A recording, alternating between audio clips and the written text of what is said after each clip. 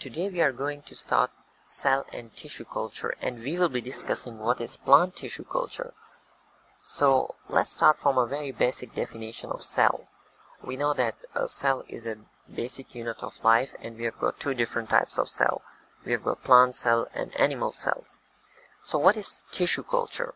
Tissue culture is the technique or process of keeping tissues alive or growing in a culture medium. And what is plant tissue culture? Well, the aim of plant cloning or tissue culture is to make thousands of copies from one of the productive specimen of plant. And this entire process is completed in four steps. In first step, we take a small sample from the selected plant. And we know that cell being a basic unit of life has the capability of forming a whole new organism. This phenomenon is referred to as totipotency. In second step, the sample is then kept in solution of detergents for a while to remove any bacteria, fungi and parasites. In third step, the plant sample is cut into small pieces which are then placed in a special culture medium consisting of a solution of nutrients and this solution also contains growth hormones which stimulates division of cells. As a result, a large number of cells are formed.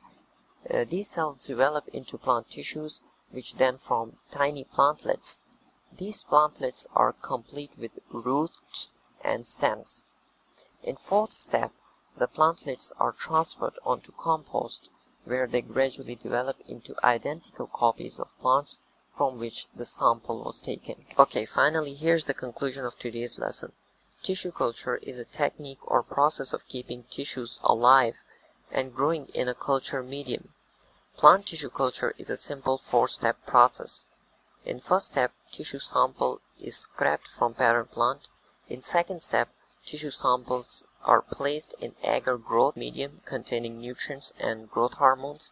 In third step, the sample develop into tiny plantlets. And finally, in fourth step, the plantlets are transferred onto compost for further growth.